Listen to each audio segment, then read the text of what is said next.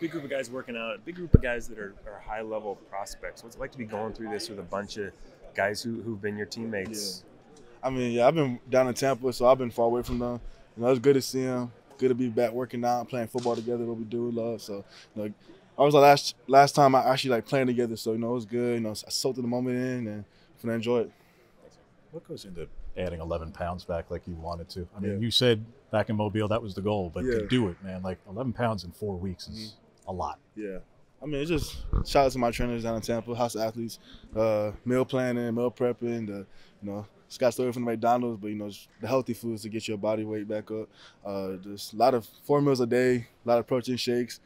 Uh, going to my Mobile, I was sick, so you know, 272. I I wasn't I wasn't that weight since COVID year, so I wasn't happy with that. So my, really, it was just focusing on nutrition and just make sure I eat like a pro and just prep like a pro.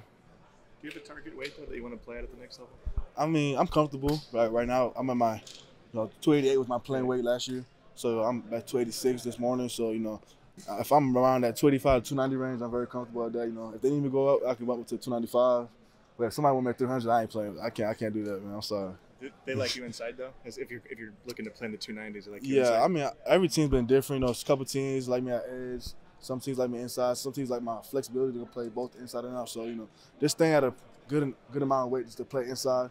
That's and that's why I want to play too. So.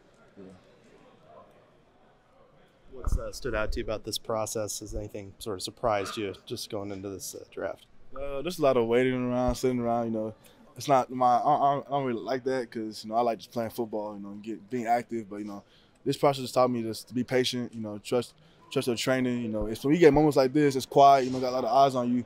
But you know, you just gotta know you're built for this. You know, I've been doing this for five years, so you know, I feel very comfortable out here. You know, I've been having a lot of fun. Yeah. How crazy is that sort of pressure that exists? Obviously, like 30 Yeah. teams here. Yeah, so like the combine, you know, you, 40 yard dash, you know, it's pitch quiet. So, you know, it was different. You know, your mind went blank. So you just got to remember you got to fall back to your training. What formals did you have at the combine? So, you- formal? Yeah. who'd you formally meet with? Uh, shoot.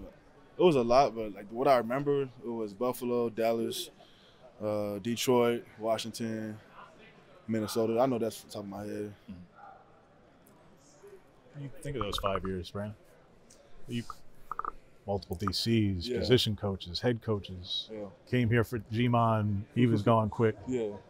You made a lot of sacrifice Yeah. that a lot of these people don't know about. Mhm. How do you sum it up? I mean, it's been a journey. It's been tough. And I came in three star, one of the lowest rated kids. So I came in, with, I had a chip on my shoulder.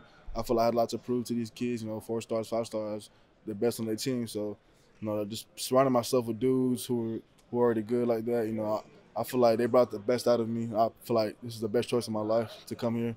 You know, came with my teammate. He left early, so you know it's hard just being out here by myself. You know, just had to connect with some new guys, and you know we built a brotherhood that I'll never forget. You know, these guys are gonna be at my wedding, and you know we're gonna be friends for, who knows how long. So, you know, I've been blessed. You know, had my kid out here two years ago, so his birthday about to come up next month. So I'm happy. You know, I'm glad I came out here. Do you feel like, you know, having that NFL combine experience made things less nervous for you today? Or was it just being back in Eugene, combination of both? What do you feel like? I feel like it's a combination of both. You know, for sure the combine prepped me for being more relaxed out here. You know, I feel like the going into the combine, I was more antsy, more had more anxiety going in because you, know, you never know what you're gonna expect. But you know, for sure being back here too, being around your guys and being back in the building where you've been working out for five years, it's for sure felt amazing. You know, for sure, I, I felt way more calmer out here. You know, dudes are asking me questions like, "Hey, how, you know what, what you know what to expect?" I'm like, "I don't know what to expect. It's pro day, so." I just told them, you gotta relax, ease my. It's football at the end of the day. Have fun with it. So that's what the thing going into it. How, how impressive, impressive is Casey's athletic testing today? I Yeah, don't know if we- nah, I expected ain't never seen Casey jump like that before. So I don't know. I don't know what he's been doing in Denver, but yeah, he's been Casey. Man, he's a dog. Man. Ever since he came in, you know, he was one of the dudes who have crazy work, work ethic. So you know, I love Casey. He's gonna make it far. You were saying that you guys kind of talked to each other for the last time the line. What'd you guys say to each other?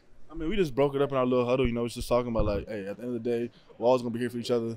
It's football. You know, we gonna love each other. You know, we made this is a milestone. It's a dream to you know participate in a pro day, go to a combine, you know, be considered to the NFL draft. So just enjoy this process. You know, keep in touch. That's what the real things we talked about.